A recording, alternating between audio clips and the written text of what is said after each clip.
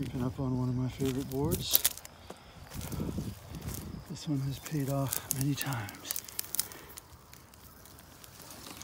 Oh yeah, look, king snake right there in the crack.